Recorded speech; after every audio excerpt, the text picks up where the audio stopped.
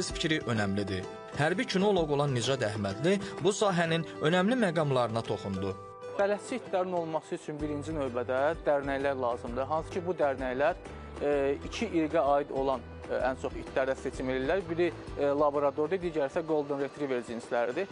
E, bu cinslər 7-8 həftəliyinə qədər saxlanılır. Daha sonra isə 7-8 həftəlikdən sonra könüllü ailələr olmalıdır. Könüllü ailələr bu itləri e, qəbul edirlər, onlarla sosiallaşır.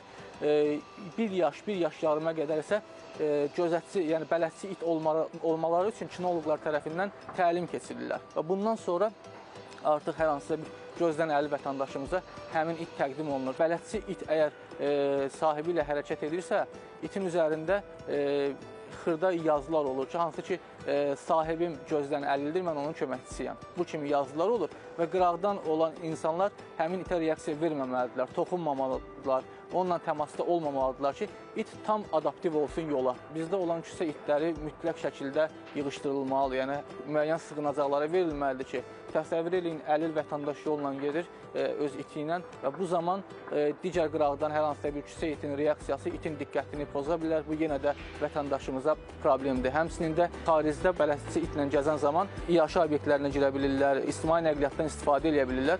Təbii ki, bizdə bu mümkün e, olası kimi görsənmir, çünki biz hələ buna tam nə ölkə olaraq, nə də e, ictimaiyyət olaraq hazır deyilik.